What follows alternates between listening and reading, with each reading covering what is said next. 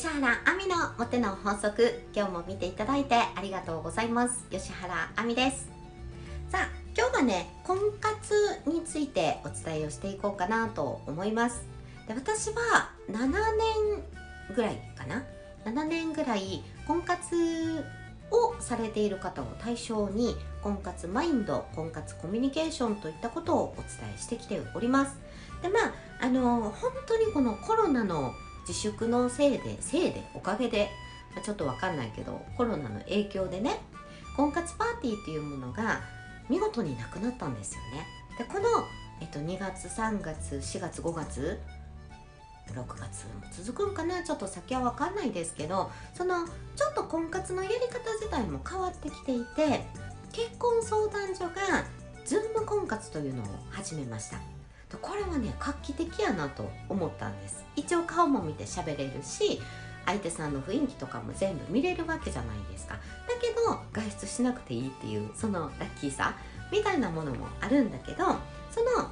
Zoom 婚活じゃあどんな風な感じでされているのってなると、まあ、大概結婚相談所の方がその Zoom の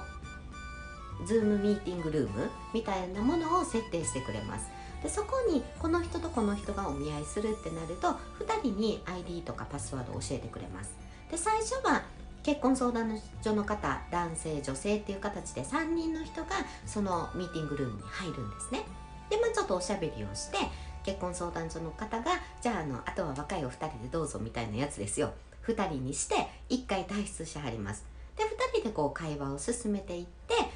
お時間のちょっと前になってくると結婚相談所の方が入ってきてでさあどうでしたか？みたいな感じで締めてその部屋をクローズされるっていうそんな感じの進め方が多いように思います。でやっぱりね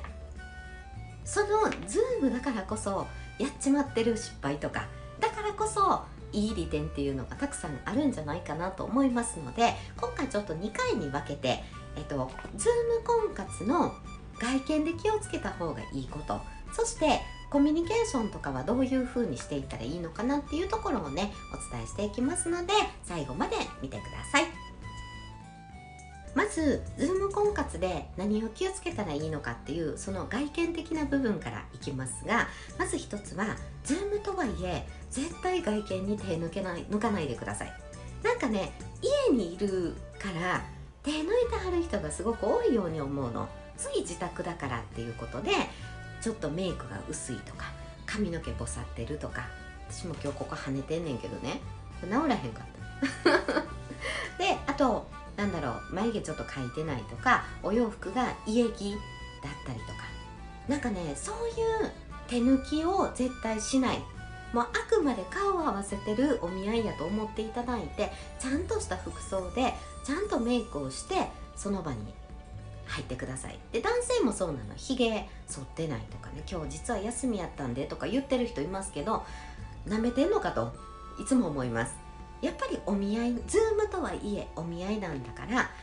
ちゃんとしましょう。普段やっていくでしょ？お見合い行く時はひげ剃っていったりとか服も綺麗な服着ていくじゃないですか。それと同じような体勢をとっていただいて画面の前に座ってほしいなと思います。そして2つ目背景は綺麗にしといてください。生活感が溢れすぎたりとかあとなんかあの犬走ってるとかね。あのちょっとこの辺この辺とかになんか生活感に溢れた何かが置いてあるとか。そういうのは全部排除。で逆にね背景作る人いらっしゃるんです。なんかあるでしょここ。あの景色になってたりとか。そういうやつに変えてはる人とかはもしかしたら家を見られたくないっていう警戒心とかなんか家汚いんかなとか 思います。なんていうせんなんか詮索が入っていくのでまあできたらそのお家のね後ろこうちょっと綺麗な壁とかあの小ざっぱりしたところを使っていただいてズームをしていただくことをおすすめしております。そして明るさなんですがライト買ってください。あの Zoom で私も講座をよくするんですが画面みんなめっちゃ暗いんですよ。暗いからものすごい老けて見えます。ライトって私持ってるのはねあのね携帯につけるこういうやつ。これねすごい便利だったの。なんかわかる？ライトがこう明るくなっていくでこういうのとあともう2つ、まあ、ここはちょっと明るいんで使ってないんだけど家で撮る時とかは、えーと、ライトこう両サイドに2つ置いて顔を照らしてシワを弾くみたいな工夫はしています。でもライトは絶対あった方がいいです。そしてカメラ自体はよくあのテーブルとかにカメラを置いて喋らはる人がいらっしゃるそうなんですけど視線がこう下に下がるのですっごい老けて見えます。あとほうれい線とかもすごいあの目立ってしまうという傾向にあるのでカメラは自分の目線よりちょっと上にしていただけるといいかなというふうに思います。そしてあとはねへの字口。相手さんがおしゃべりされている時に口がね気抜けてんねやろね。こうやって下がってる人。うんってなってる人すごく多いんです。でもそういうの相手さんってずっと見てはるんですよね。なので本当に意識をして口角をちゃんと上げてへの字口を作らないっていうこともやってみてください。とね気をつけてほしいのが姿勢。どうしてもあれなんかリラックスシートみたいな感じのところにこう座ってこうやって聞いてはる人もいたりとかあの私も講座をする立場でえっと、受講生の方 Zoom の画面に入っていただいた時に椅子にもたれきっててこうやって聞いてる人とかもいらっしゃるしあとはねなんかこうもうこうやって猫背になってたりこうやって聞いてたりなんかやっぱり家だから気が抜けるんでしょうね。基本的にね。気は抜かないでください。Zoom といえお見合いです。でこの気抜くのはもっともっと後でいいの。最初なんだからやっぱちゃんと気張って姿勢もこうピチッとよくしていただいてで椅子にもたれたりとかしないっていう風にしていただきたいなと思います。であとはねうんとまあ、飲み物とかも用意してあの婚活しましょうっていうことでねコップとか用意しといてくださいねっておっしゃったりするんですがカップが なんかやたら古い感じとかね。あとあの家庭感にあふれてるそんな感じとかいうのはもっと後の話です。で何も家で使ってるのがプーさんのマグカップであったとしてもそれがお気に入りだったとしても最初の初回のお見合いでそれはダメです。でやっぱりね何回か喋っていってる中である日プーさんのマグカップを出してくるのはありやと思います。これはギャップのところになっていくから。でも初回からねプーさんのマグカップとかもうなんか下手したらあの家も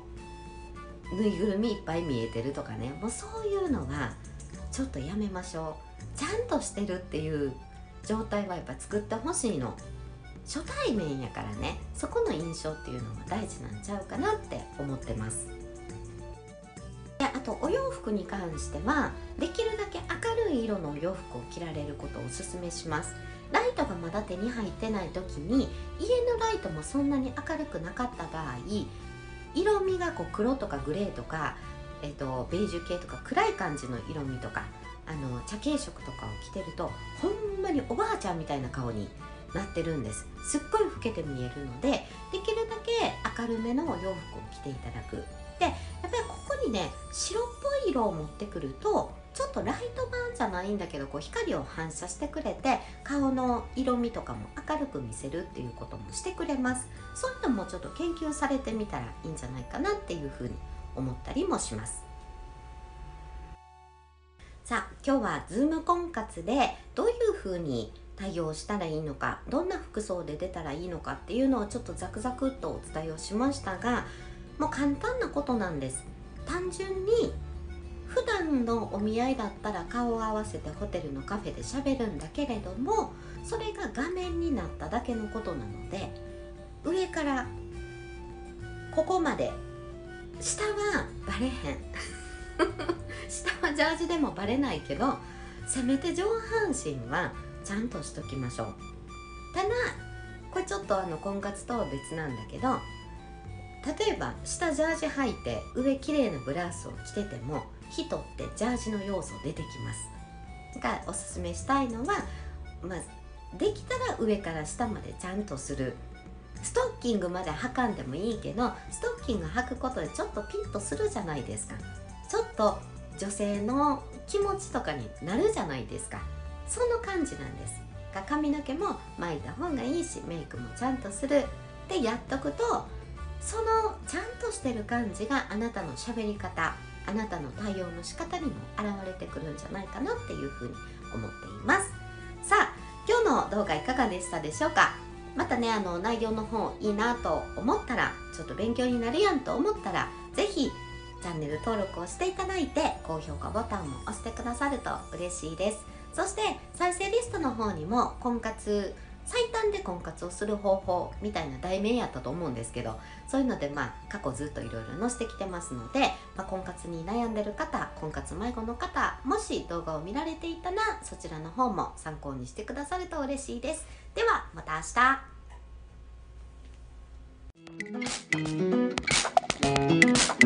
日。